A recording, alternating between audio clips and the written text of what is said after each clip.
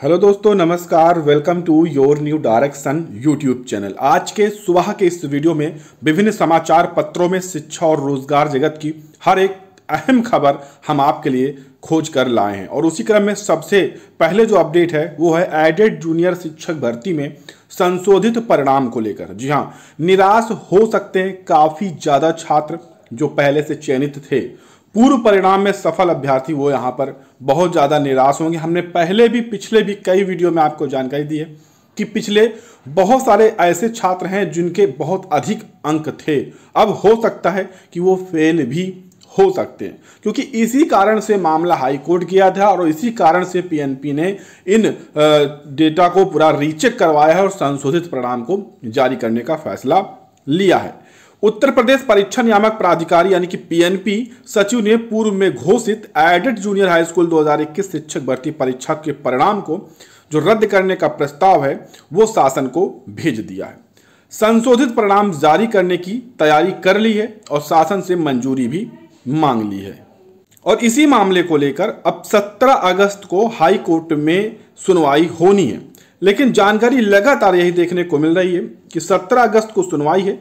उससे पहले संशोधित जो परीक्षा फल है, वो जारी करने की तैयारी हो चुकी है। लेकिन दो दिन बीच में अवकाश हो गया है। आज रविवार का, कल यहाँ पर 15 अगस्त का दो दिन का रविवार अवकाश है। और इसी कारण से शासन से अनुमति मिलने में लगातार देरी हो रही है और परिणाम विलंबित होता जा रहा है। लेकिन जानकारी है कि दे मंगलवार देर शाम तक जो आधिकारिक परिणाम है, वो आप आधिकारिक वेबसाइट पर देख पाएँगे। लेकिन दोस्तों, ये लगातार शासन के निर्देश के बाद जब ये कार्रवाई की गई थी तो यहाँ पर लगातार पुष्टि हुई कि बहुत सारे छात्र ऐसे थे जिनके अंक कम हैं। उनके बढ़ाए गए। बहुत सारे छात्र ऐसे जिनको अधिक अंक दे दिए गए थे। इसके बाद शासन के निर्देश पर पीएनपी सचिव अनिल भूषण चतुर्वेदी ने आंतरिक मूल्यांकन करने की समिति बनाई और परीक्षा फल का पुनर्परीक्षण करवाया और अब संशोधित परीक्षा फल पूरी तरह से तैयार हो चुका है, जो कि देर मंगलवार को यहाँ पर जारी हो सकता है। तो बड़ी अपडेट है। अगर आपको भी इस परिणाम का इंतज़ार है तो आपको बस कुछ दिन और इंतज़ार करना है और आधिकारिक तौर पर आप अपना परिणाम देख पाएँगे। उसकी जानकारी भी हम अलग से आपको देंगे। उसके लिए इस वीडियो को लाइक शेयर और चैनल को अभी तक आपने सब्सक्राइब नहीं किया है। तो कर लीजिए। अगली जो अपडेट है, वो सुप्रीम कोर्ट से आ रही है, जहाँ पर प्राथमिक शिक्षक भर्ती में बीएड वेस्ट बीटीसी बीएसटीसी डीएलएड कुछ भी आप कह सकते हैं, उसको लेकर लगातार जो सुनवाई है, वो पेंडिंग है, मुकदमा चल रहा है, और यहाँ से लाखों लाख बीएड के जो छात्र हैं, उनका भविष्य टिका हुआ है। अभी जानकारी थी पिछली बार जो लिस्ट आई थी कंप्यूटर जनरेटेड, वहाँ पर था कि सत्रह आठ को इसकी सुनवाई होगी। हमने आपको जानकारी दी थी। लेकिन दोस्तों, अब ये सत्रह आठ चेंज हो गया है और चौबीस आठ हो गया अब यहाँ पर जानकारी देखने को मिल रही है कि चौबीस आठ दो को अब यहाँ पर सुप्रीम कोर्ट में सुनवाई होगी।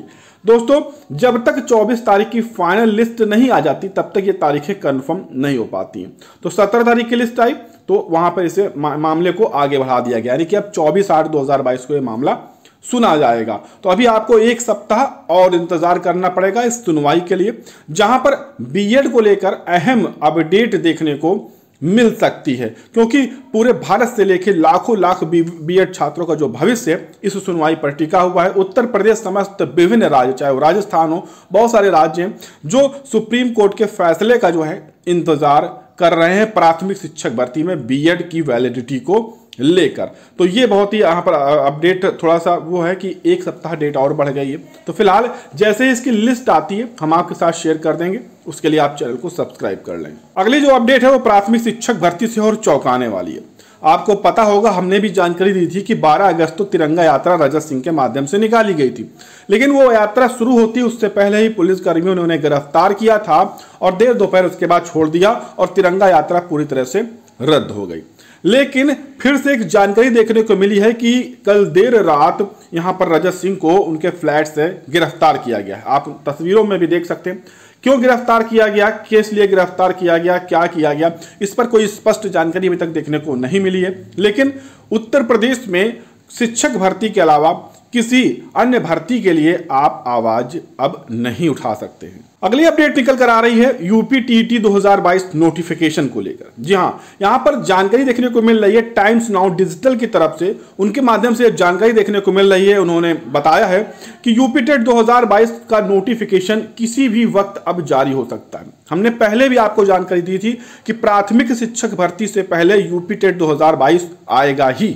और बहुत सारे छात्र ऐसे हैं, चाहे वो रजत सिंह हों या अन्य जो छात्र हों, उन्होंने भी जानकारी दी है कि पीएनपी तैयारी कर चुका है यूपी टेट 2022 नोटिफिकेशन जारी करने का। इंतज़ार और इंतज़ार केवल इतना है एडेड जूनियर का संशोधित जो परिणाम है, उसकी वजह से यह विज्ञापन रुका हुआ है।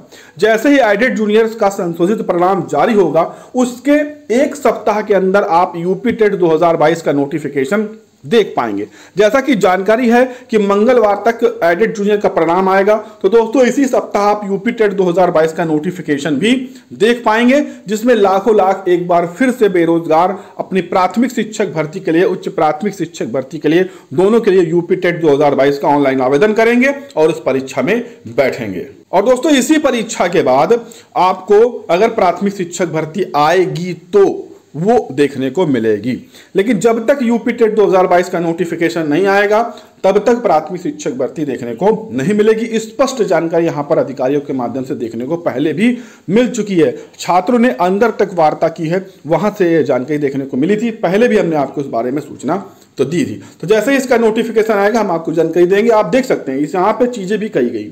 कि इसी सप्ताह, यानी कि जो सप्ताह आ रहा है, पंद्रह अगस्त के बाद, इसी सप्ताह यूपी टेट 2022 का नोटिफिकेशन जारी हो जाएगा। हम आपको पहले से ही जानकारी दे रहे हैं कि नोटिफिकेशन आने वाला है। किसी भी वक्त, किसी भी समय जारी हो जाएगा। लेकिन 15 अगस्त के बाद ही नोटिफिकेशन देखने को मिलेगा, क्योंकि 15 अगस्त के अगले दिन एडेड जूनियर का परिणाम और उसके बाद नोटिफिकेशन यूपी टेट 2022 का फिर आगे की प्रक्रिया शुरू होगी। अब बात कर लेते हैं बारह शिक्षक भर्ती पर। जी हाँ बारह शिक्षक भर्ती पर छात्रों को इंतज़ार है, क्योंकि 22 अगस्त 2022 को यहाँ पर सुनवाई होनी छात्रों को भी इंतज़ार होगा कॉल लिस्ट का। तो हम आपको बता दें कि अभी आज रविवार है, कल 15 अगस्त है तो यहाँ पर 17 17 या 18 तारीख में जो आपकी कॉल लिस्ट है, वो आधिकारिक वेबसाइट पर आ जाएगी। हम उसकी जानकारी आपको दे देंगे कि किस नंबर पर, किस सीरियल नंबर पर बारह हज़ार चार सौ साठ शिक्षक भर्ती की सुनवाई होगी।